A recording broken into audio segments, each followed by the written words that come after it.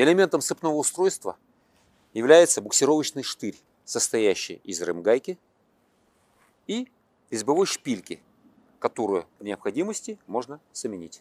Буксировочный штырь вставляется в сцепное устройство.